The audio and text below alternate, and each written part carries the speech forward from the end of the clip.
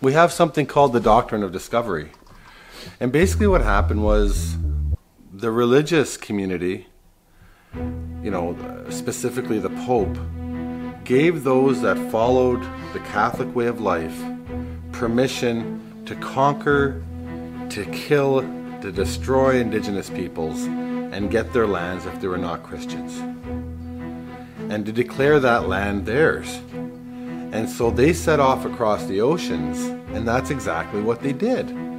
The very first person to declare our land was the Spanish.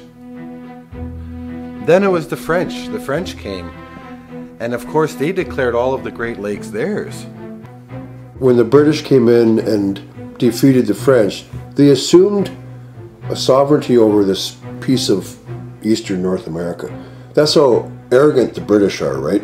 They just assumed we have sovereignty over this piece of land, over New France, and over the 13 colonies. Jeffrey Amherst, you know, we're hearing about that right now. The Am- there's statues to Amherst and Jeffrey Amherst. Yeah, he was a racist. He became the chief, commander in chief of British forces after 1760s, 59. And Amherst um, thought that he, you know, he captured Quebec, Louisbourg, and Montreal. You know, uh, it broke the back back of the French Empire, and he thought he would be hailed as a hero. When he back, but then what happens? Pontiac. So Pontiac was an incredible warrior. His whole body was covered with tattoos. And he was known to like the French. He did not like the British. Pontiac attacks Fort Detroit and unleashes his fury on the British forts, and that becomes the yoke around Jeffrey Amherst's neck. So during the Plains of Abraham, that's when the British defeated the French and were able to claim title over this land, which was Crown land.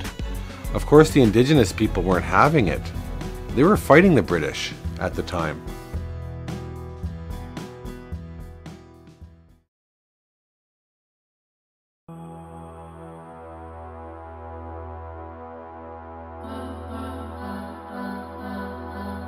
William Johnson was smart enough to know that we'll never win a war against the Great Lakes tribes. So we have to appease them in another way. It was William Johnson who helped to orchestrate Jeffrey Amherst's removal back to Britain because he was a land speculator, William Johnson. He was big time. And he was married into the Six Nations. Talk about a conflict of interest. And he reversed the Amherst policy of no alcohol. We don't hear about that. We don't hear about what that did. Go back to your communities and unleash your chaos against yourselves. Murder yourselves because we don't care. The whole British concept of being able to gain a foothold in eastern North America would be accomplished if the people can destroy themselves. So at the time when Sir William Johnson was the authority for the British in dealing with Indians, the native people were getting big barrels of whiskey that was just full of poison, and they were dying from this poisoned whiskey. And it was Sir William Johnson that turned those policies around so that the indigenous people could be traded whiskey for lands and for furs.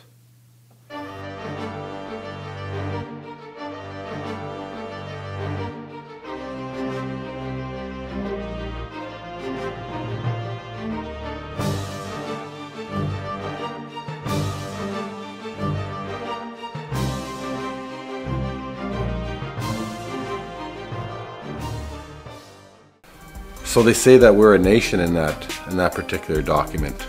I don't care. Our lands are have been were claimed by by the, the British and and stolen. And that's the founding document. The French and the British fought. It was the British that defeated the French. And then they came up with the Royal Proclamation and said, This is Crown land. You are a nation. Do not sell your land to the French. The Royal Proclamation established a line. It was really the British were concerned about the American colonists. There was nothing happening here, right? pre 1763, nothing. So they struck a line along the crest of the Appalachians and they said there couldn't be no settlement west of the Appalachians. It was happening in the 1750s and the 1740s that settlement was pushing west. And you had these land companies that would be struck, and they were speculating, and they were doing their own treaties with the Six Nations, and um, so it was doomed for failure. So our people had ways of knowing and predicting what was going to happen in the future. And they used the spirit of this land to interpret certain agreements and certain things that were going to take place. And of course, during the Treaty of Niagara, they see a turtle help them and foreseeing the future of the British and how they're going to be coming across the ocean and through the rivers into the territory. And so that's why our people went to Niagara with an open mind. It was because this turtle seen that they were going to come and that they were never going to stop coming.